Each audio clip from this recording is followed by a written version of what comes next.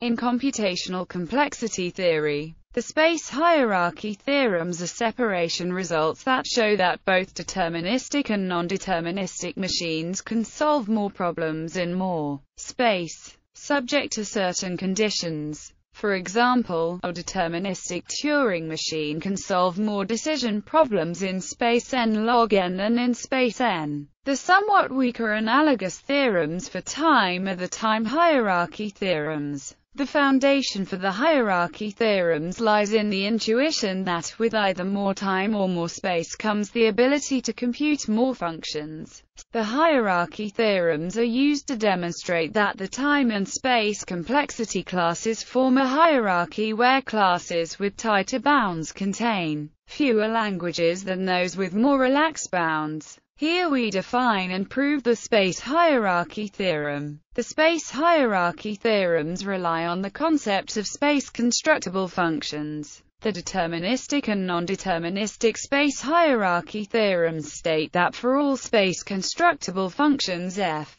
where space stands for either DSPACE or NSPACE, and refers to the little o notation statement, Formally, a function is space constructible if and there exists a Turing machine which computes the function in space when starting with an input, where represents a string of s. Most of the common functions that we work with are space constructible, including polynomials, exponents, and logarithms. For every space constructible function, there exists a language that is decidable in space but not in space. Proof the goal here is to define a language that can be decided in space but not space. Here we define the language. Now, for any machine that decides a language in space, will differ in at least one spot from the language of, namely at the value of. The algorithm for deciding the language is as follows. On an input, compute using space constructibility, and mark off cells of tape.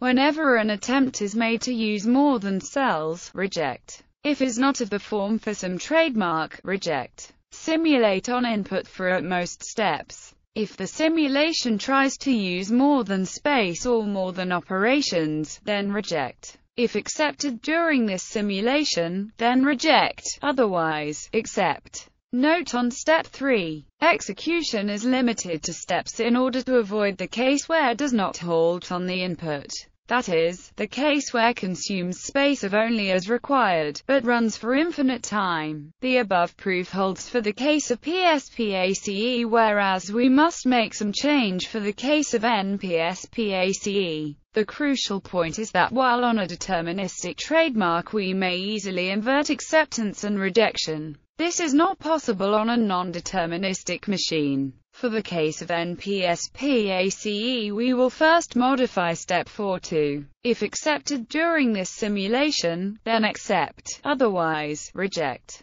We will now prove by contradiction that cannot be decided by a trademark using cells. Assuming can be decided by a trademark using cells. And following from the Immerman Szelepcsényi theorem follows that can also be determined by a trademark using cells. Here lies the contradiction, therefore our assumption must be false. If is not in then will accept it, therefore rejects, therefore is in. If is in then will reject it, therefore accepts, therefore is not in. Comparison and improvements the space hierarchy theorem is stronger than the analogous time hierarchy theorems in several ways. It only requires S to be at least log n instead of at least n. It can separate classes with any asymptotic difference, whereas the time hierarchy theorem requires them to be separated by a logarithmic factor. It only requires the function to be space constructible, not time constructible. It seems to be easier to separate classes in space than in time. Indeed, whereas the time hierarchy theorem has seen little remarkable improvement since its inception,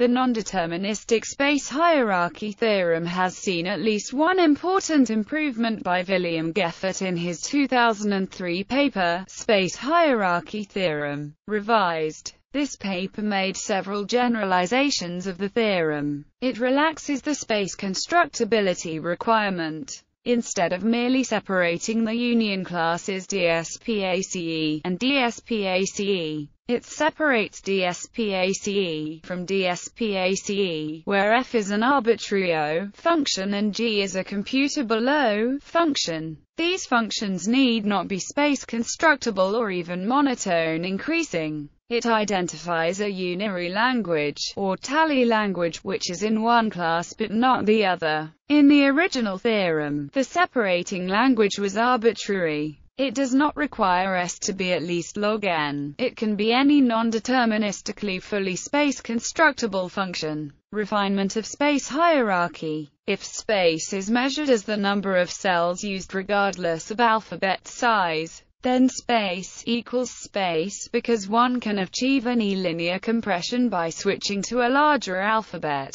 However, by measuring space in bits, a much sharper separation is achievable for deterministic space. Instead of being defined up to a multiplicative constant, space is now defined up to an additive constant. Assume that f is space constructible. Space is deterministic. For a wide variety of sequential computational models, including for Turing machines, space omega plus n, space this holds even if space omega plus n is defined using a different computational model than space because the different models can simulate each other, with O plus n space overhead. For certain computational models, including Turing machines with a fixed number of tapes and fixed alphabet size and with delimiters for the visited segment on each tape, space omega space the proof is similar to the proof of the space hierarchy theorem, but with two complications. The universal Turing machine has to be space efficient, and the reversal has to be space efficient.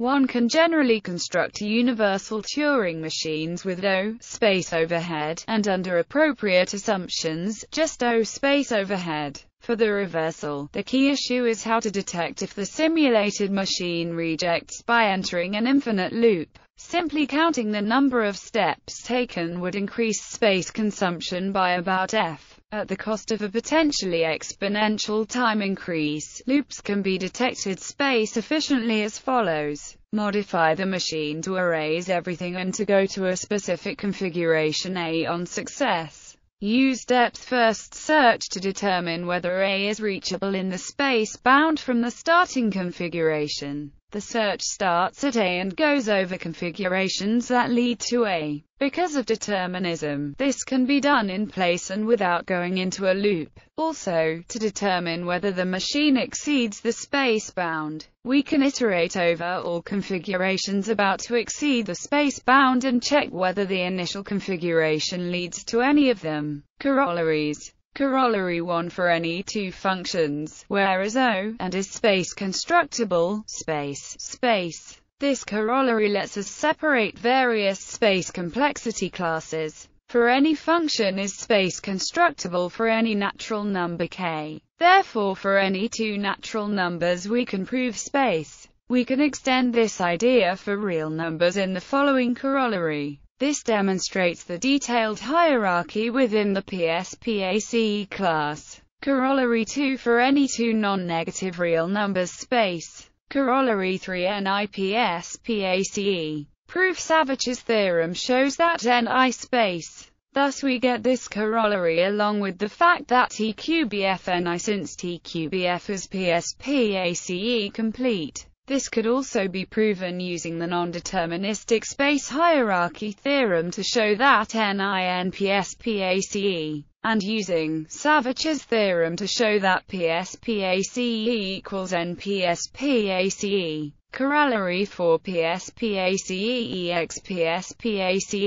This last corollary shows the existence of decidable problems that are intractable. In other words, their decision procedures must use more than polynomial space. Corollary 5 There are problems in PSPACE requiring an arbitrarily large exponent to solve, therefore PSPACE does not collapse to DSPACE for some constant k.